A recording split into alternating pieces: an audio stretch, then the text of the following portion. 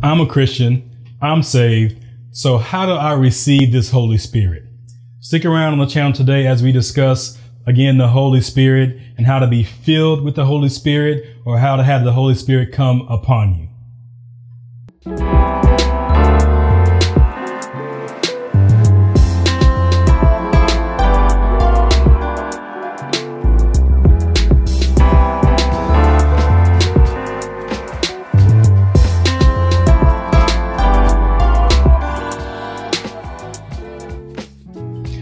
Going on YouTube and welcome back to the channel Faith Like That. Welcome back to the family and if you're new to our channel, welcome to you too. We are a Christian ministry that is dedicated to teaching and preaching sound doctrine and helping you live a clean life for Christ and live it abundantly. Today on our channel, we're discussing the Holy Spirit and how to receive the Holy Spirit or have the Spirit fill you and come upon you.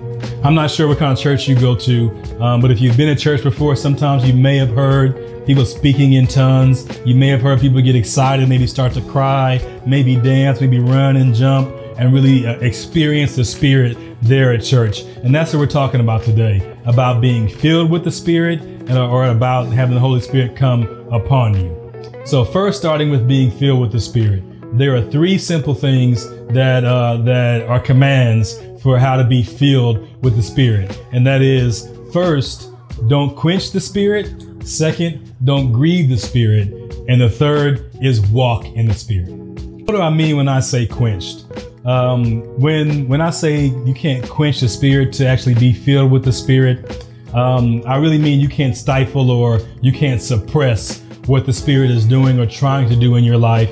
And sometimes in our lives, when we want one thing, maybe God wants another, and we don't take time to hear from God about what He wants and what the Spirit wants and is trying to accomplish in our life, then we kind of suppress and stifle what He is doing and self sabotage ourselves. That is the quenching I'm talking about. So if you want to be filled with the Holy Spirit and experience God, the first thing you have to do is not quench that spirit. The second command that I mentioned was not grieving the Spirit. So, as a Christian, um, when we grieve the Spirit, that means we're doing things that may make Him sad or hurt Him. Um, when we have sin that enters our lives, um, and we make mistakes, it's one thing. Then we miss the mark and we sin and maybe transgress. Um, there is transgression that's sin. There's also iniquity that's sin. And that iniquity is when we allow sin to not only come in, but we allow it to take root and we participate in it without limits and unyieldingly. Like we're just we're just doing sin because this is our way, this is our lifestyle, and we are unapologetic about it. And but we're a Christian, so in that sense, when we're sinning willingly and without without fault, without confession, without apologizing, without feeling bad for it, then we grieve the Spirit. So if you want to be filled with the Spirit, first you can't quench it, but then you can't grieve the Spirit either. I mentioned was walking in the Spirit. Um, to best explain this, my analogy is you have to sort of sort of date or engage the spirit.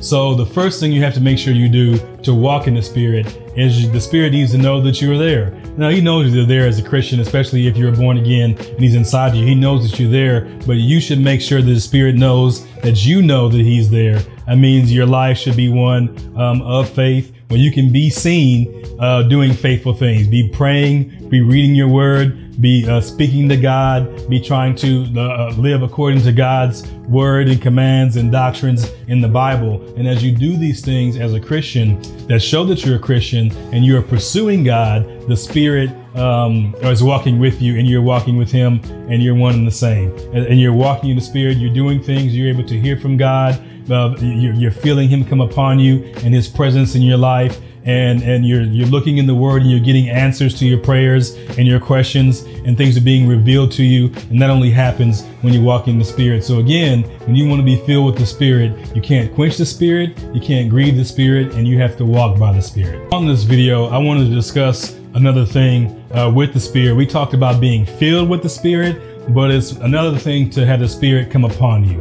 If you look through the bible um, different instances, and I'll list some over to the side here, where, where men and women in the Bible did things that were great and awesome, performed feats. They did those things once the Spirit came upon them. Um, it's one thing to be walking with the Spirit, letting the Spirit fill you um, and experiencing the Spirit. But like when we see people speak in tongues or heal people or do miraculous things in the Bible, then we see those are instances where the Spirit has come upon them. We see that in Jesus when he was baptized that the Spirit descended and remained upon him. It didn't say the indwelling of it, but the Spirit descended remained upon him. We also see that in some of the prophets in the Old Testament that the Spirit came down and rested upon them, or it'll say the Spirit came upon him and then this happened. So it's important to distinguish those two things that we want to be filled with the Spirit and walking in the Spirit. But if we're looking for miraculous things and supernatural abilities or supernatural giftings that people have, those happen when the Spirit comes upon you. It can be in you and upon you is a, a, a, two different things. So when the, the spirit is upon you and, and it's and it's acting with you, that's what we mean when you say upon you.